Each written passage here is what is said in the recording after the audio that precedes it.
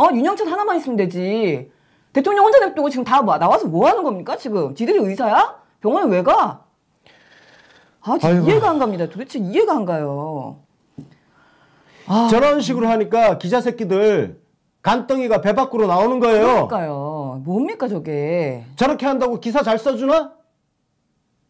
이때까지 아 기자들 오냐오냐 해줘가지고 기사 잘 썼냐고요? 언제까지 그딴 식의 대언론 관계 유지할 거야?